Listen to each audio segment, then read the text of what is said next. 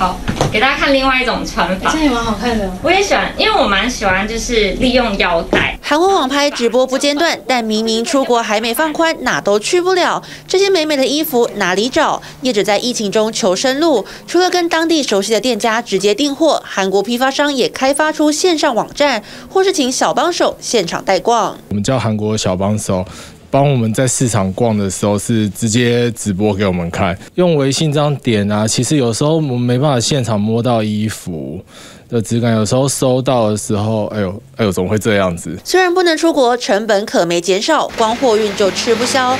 以每个月五百公斤的交货量为例，疫情前运费每公斤大约七十元台币，疫情之后飙涨一倍以上，每公斤大约一百六十元台币。尽管省下以往每月飞两趟七万元的旅费，但加加减成本没有降低很多。最多的时候就是应该有五五十。少五十趴左右应该有，真的就是烧钱撑过，就这样子从。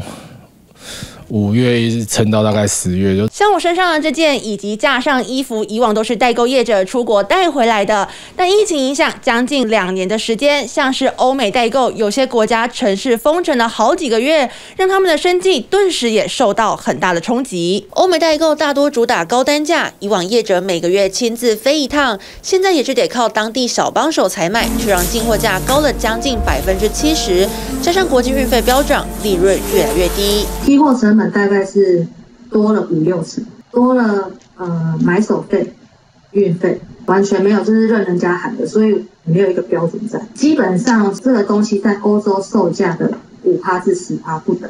代购选物方式越来越多元，不管是跟当地买手合作，或是直接越洋连线，还是得等能够自由进出国、亲自采买，才能为消费者挑更多好货。TVB 的新闻郑胜伟、林立台报道。